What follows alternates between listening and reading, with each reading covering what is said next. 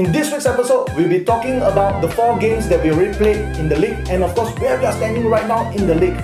Next, we'll be talking about the preview of the game against West Ham and in segment 2, trending now, we'll be talking a little bit about COVID-19 and the impact that it's bringing to football once again.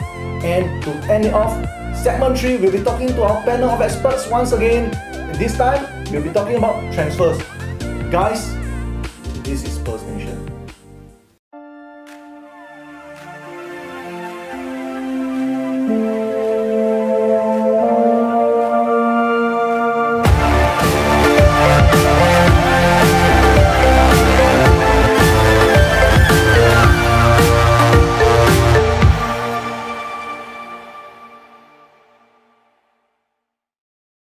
Welcome to Spurs Nation. Guys, in case you're wondering why we didn't have any episode last week, it's an international break. I take a break, of course. You know, happy is it? Ask that guy behind the camera. lah. Okay, anyway, in today's episode, we'll be talking about the first four games that we played in the league already. So, game one, Everton. So, uh, we started the season all hopeful that this might be the season we finally uh, do something good again. So, it was a very, uh, I would say, boring and uninspired performance. We lost 0-1 and it was very bad defending from us. That's why we lost. So it, it's not because Everton is good. Uh. Next, we went to Southampton. So that um, we think that, okay, things not looking bright. But Harry Kane, 4 assists for Sonny's 4 goals. We beat them 5-2. That was, I would say, counter-attacking at its finest. Southampton was quite, I would say, naive by playing a very high line against very fast attack like ours. So they got punished. And of course, the handball decision that they gave away, um, Matt Doherty, the ball bounced up, not from him.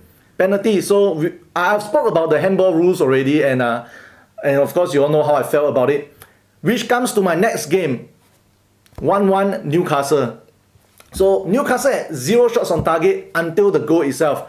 And of course, once again, Newcastle's goalkeeper have to become a human war against us. I think Choff says. So um, that game, I was not particularly unhappy with our play, but I was very, very unhappy with the referee and of course the VAR.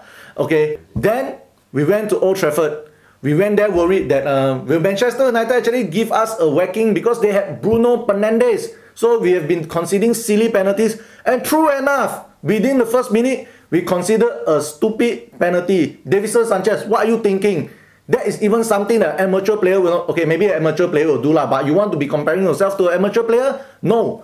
But taking aside all of Manchester United's silliness and of course Harry Maguire, oh my god. That guy cost you 80 million pounds, world's most expensive defender. Hey, my grandfather's friend can play better than him lah. Okay, taking away all those, we have to look at our performance. First goal, Eric Lamela hustling the defense and Ndombele, he don't normally run. He ran to the box, whacked the ball in. And of course, 6-1.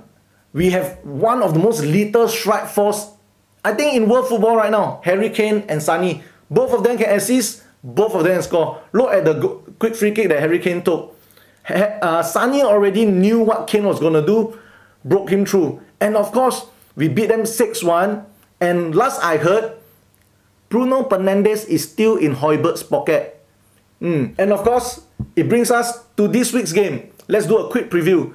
West Ham versus Tottenham. Okay, West Ham has always treated this tie to be their own cup final because uh, they got nothing else to look forward to. So, this week, you want my prediction, right? You all want my prediction, right? Currently, I'm 100% incorrect, but at least the result's going my way. So, I would say, mm, 3-0 for us. Harry Kane, Son Heung-min, and of course, the return of the prodigal son, Gareth Bale. He will score one goal. He loves scoring against West Ham. So uh, as we have already seen in social media from uh, Spurs official and all, that uh, Gareth is already training and uh, putting in a shift. So I will expect him to feature in some capacity this week. So uh, I'm really looking forward to this week's uh, derby and three more points for the Spurs. Come on, you Spurs. Alright guys, in this week's episode of uh, What's Trending, uh, unfortunately, I have to be talking about this again. COVID-19. So just before the international break, uh, Liverpool probably suffered um, one of the most high-profile uh, COVID uh, tests so far. Mane and of course Thiago. And we all saw what happened when they lost their two players. Seven. Okay. jokes aside, so uh, oh wait wait, I, I really have to be serious, guys. Uh, yeah, they lost seven two. Hoo-ha, we won six one. So next, Cristiano Ronaldo also tested positive. So they were in this international break. So they played a couple of countries. They played France. So France, of course, have a lot of uh, English-based players. So the if Cristiano spread to the French team, the French players, and of course the Portuguese teams go back to their own club, will there be a major spreading event? So I'm, I, I really hope and pray that this doesn't happen because uh, we wouldn't want to see anyone getting COVID-19, especially when it comes to football. They are in this safe bubble. But if there is to be a big spread again, I think unfortunately the league might have to stop. We do not want that. We had such a hard time um, going about our lives without football. I mean, uh, times are bad already. The situation is not good. So football is one of the only thing that's keeping uh, us football fans sane. So um, over at Spurs Nation and Footsy, we wish that everyone stay safe. Remember to always wash hand and uh, wear your mask and just follow all the rules that your government is telling you. So guys, in this week's segment 3, we'll be talking to our panel of experts. So the topic for today, it will be the transfer window all of you already know that the transfer window has just ended and of course Spurs have one of the best transfer window that we have in recent history. The last time we bought so much players was when we sold Gareth Bale. So this time round, we didn't sell Gareth Bale. We bought back Gareth Bale. So what's going to happen is we're going to talk about all the transfer that we got in, the loan dealings, and of course, what kind of impact that this will bring to our club. So guys, let's talk to them right now. Welcome, friends, once again to Spurs Nation. So today, as usual, I have my panel with me all the way from Sengkang. Let's welcome Mr. Sweet 16 himself, Daryl Spikerman. Daryl, how are you? Hey, Boone. Good morning, good evening. And how are you? Good afternoon. I'm fine. How are you? Good, okay. It's so, been a long uh, uh, international week, eh, bro. Too long. Uh, so how are you having any like side effect no football? bro, I've been uh, rewatching the Man United versus Spurs uh, extended highlights, bro. 2.5 million views and counting uh, so far. Okay, uh, in case people watching the show forgot, it is Manchester United 1, Tottenham Hotspur 6! Okay, and me. joining us, as usual, he's the OG himself, Mr. Shah F2. What's up, Shah? What's up, Gun? Thank you for having us again um, in my green today. What is Spurs Nation without you guys? Oh and of course, today we'll be talking about transfers. And what is transfer without Mr. Hitchin himself, Mr. Troy Hitchin? Oh, yeah. Good transfer. I did a good job, yeah. You did a good job, but it's not you. hey, hey I see you all follow my, my wall background. Huh? Very good, very good. Why can't you follow my wall background? I started the white thing first. okay. Oh, anyway, we, we are supposed to be joined by Mr. Adnan Karim, but one I think I kicked him out of the room without me knowing. Oh, I think you need to check Atlanta squad first. See who's available. okay, anyway, so without further ado, let's start. Um, Dara, our recent transfer window has been phenomenal, I would say. Okay, very unexpected. So um, let's talk about from the bottom up.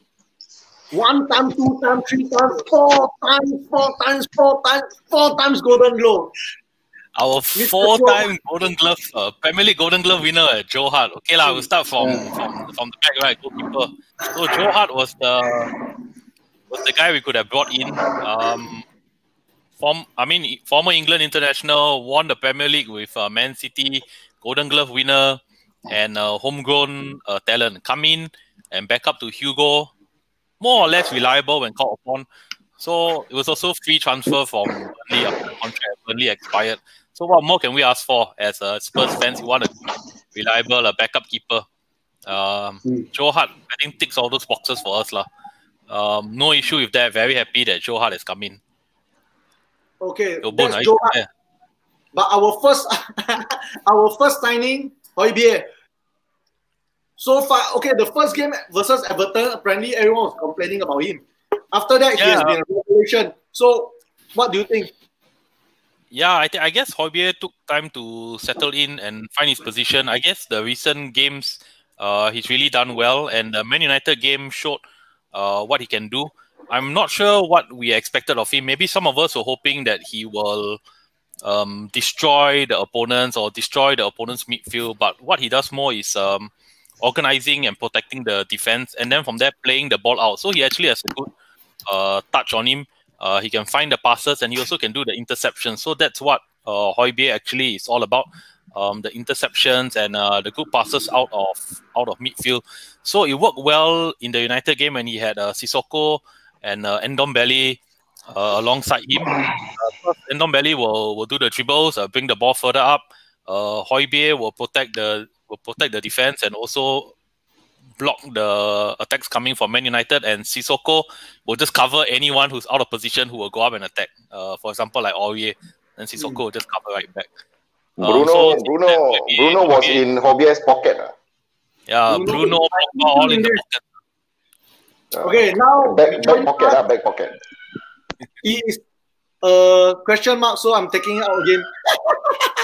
okay, uh, what about you, Troy? Let's talk about our left back and right back. Left back first, Sergio Reguilon. What do you think? Is he a good guy?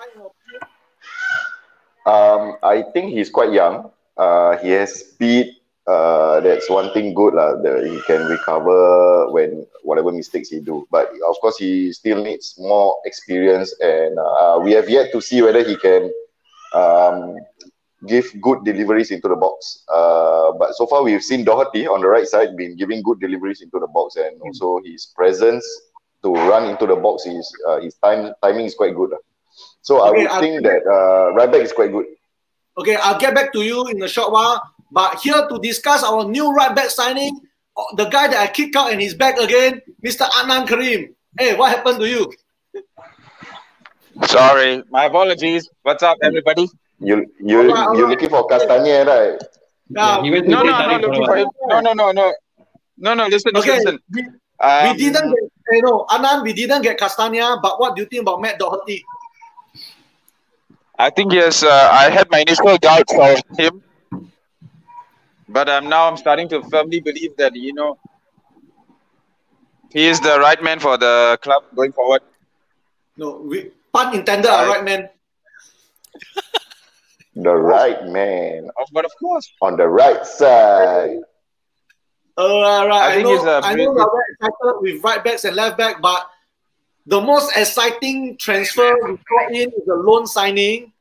So I need this man to tell me more about this guy our new number nine. Who? Um, tell us more. What, what what's your expectation? How excited are you by the, the return of the prodigal son? I think come on, it's, uh, I think it's in, in, in, in the Malay slang we call it it's a gila babi move. So it's it's it's it's unexpected. Uh, babi, uh, babi. Yeah, yeah. it, it, was, it was unexpected, but it was a jubilant and it was a, a, a I would say unexpected and very, very surprising move. Uh, both uh, Bill and also the Reguilon, the our left, new left back was were, were, unexpected. We brought them in to probably, I think, um, beside the Gila move, I think it was also a boost to the team uh, for morale. If it is not for the morale, also is just to actually strengthen the team in some ways or in some capacity, building uh, more than one position in each area. And with his return and with his caliber and with his actually, actually track records, with his actually capabilities that he did in Real Madrid, uh-huh. it is a, a, definite motivational factor slash uh, boost to the team and of course to himself to actually uh, keep his playing time moving forward. So it's definitely a plus plus for Tottenham Hotspur this of year. Course, uh, yeah. yeah. Shah, he's 31 already and uh, he has not played for almost a year. I mean, apart from golf. So mm. do you think can still do the job? Yeah, of course. Like, we have a lot of 31 year olds or above. Like, we have uh, Cristiano Ronaldo, we have like uh, Aubameyang, we have who else? Lionel Messi. I mean, I'm, I'm not saying that Bill can be compared to all these other superstars, but of course, he is already the world class level already. He went to Real Madrid, he created history, he mm. scored the overhead kick against Liverpool in the Champions League final. He burst that sprint to the uh, uh beat, beating that uh, right back from Barcelona like like a uh, I don't know what to call it. Uh, it's, it, yeah, it's, it's even like a. a, a I'm 31. I'm I, I so fit. What? Yeah, you okay? yeah. you want to talk? Okay, Troy Hitchens, our last Ah, yeah. signing the transfer window. You don't count, don't Mm. count the championship one. Vinicius, Vinicius. we, okay. we were looking for Most- a striker most and we, Vinicius. What do you think? most people Carlos, would, would yeah most people uh, would say that he is like a backup to Kane. Hmm. to Kane. So I, I I would disagree because um, he is the Mourinho type of striker. You know the, the the the big guy that will ruffle the feathers among the defenders. Uh, you know like the Diego Costa type uh, Ibrahimovic type. That's how Mouri- Mourinho wants to play. And I would see that in the long run it's more of Kane playing off him, you know, Kane Hmm. playing behind him. Behind him, yeah. Yeah, So you because uh, no, Co-striker, Kane yeah. will be like more of like a, uh, I w- yeah, maybe a co-striker playing off him because Kane will be doing the uh, the one that will be receiving, taking the second ball, spreading it out. Because that's what he did during uh, when when he first started out. But because we had no striker back then, so Kane had to fill up, and he did well. Uh, similarly to Robbie Keane, Robbie Keane was an attacking midfielder. He was supposed to play in the hole, but then, um, sorry, So, uh, Robbie Keane, Robbie Keane, yeah. Yeah, no, no. I mean, what kind of striker is Vinicius? Is he like a supporting uh, target man, or is he like a goal scoring kind of player? I would say he's more of a complete forward. Um, for those of you who play Football Manager, okay, but um, in for for those who don't, right, it's more of I would say a mix of a target man and a forward. He spearheads the attack, right? He will hold the ball. He's strong enough to hold the ball. Hmm. Uh, and we have fast players that will come in like Bale, Son, uh, Lucas, even Kane. Uh, defend, uh, he's also fast, right? Alright. So Okay. yeah, he will in the long run. In the long, you won't see him now. I, I'm, I'm Yeah. Kane will still spearhead. No, no point fixing a, a broken record, right? So yeah, if Yeah. it ain't broke, don't fix it. We'll just continue, and then we'll see how it goes. Of course. Okay, so Mr. Sweet 16, in your opinion, before we end this uh, se- quick session, in your opinion, who is currently, who which which buy are you the most impressed and most excited with? The most exciting one is still Gareth Bale, the one who hasn't played yet. Hmm. Looking forward to him making his debut lah, against West Ham. Because my. Oh okay, what about you, Shah? Yeah, yeah, I, I believe so. Like, I think it's been a while since we see him, and he he coming back to Premier League. Of course, everyone is excited, uh, despite minusing minus all the crowd that's going to be in the stadium. You just have to see him back on the field and see how he can deliver. Lah. Yeah, I'm very excited about it. Okay, bef- I'll go to Anand last. Uh, Troy, who are you most excited with? The one and only OG Fernandes. Okay, the better Fernandes. I'm Hey, waiting for that. We All know, right, last I'm waiting for that. No, no, no. I'm waiting for that. Yeah, Really, okay. We, really, really. I'm waiting for that. he might just be pushed back to Benfica. Uh, yeah lah. But I'm waiting for that. Okay, Shah So that so that I can laugh at the menu fans and tell them, hey, your penalty, you spent 70 million on somebody taking penalty. Uh. Yeah. I mean, it's good that we record this thing because if Gedson really does well, then you can actually Yes. no, no, Yes. no, positively, positively. Yeah, then you can reset this video and share Yes. it across the social media. Yeah. Exactly. No, no, no. Right. It's not sarcastic, ah, bro. It is true. Really. Because he's the only one that is left in- from our Europa passport. I mean, he, no. Hey, Troy, and Gaza. you know I meant well. Ah. Yeah, you know I meant well. I mean, Yeah, yeah, no, no, I know, I know. yeah.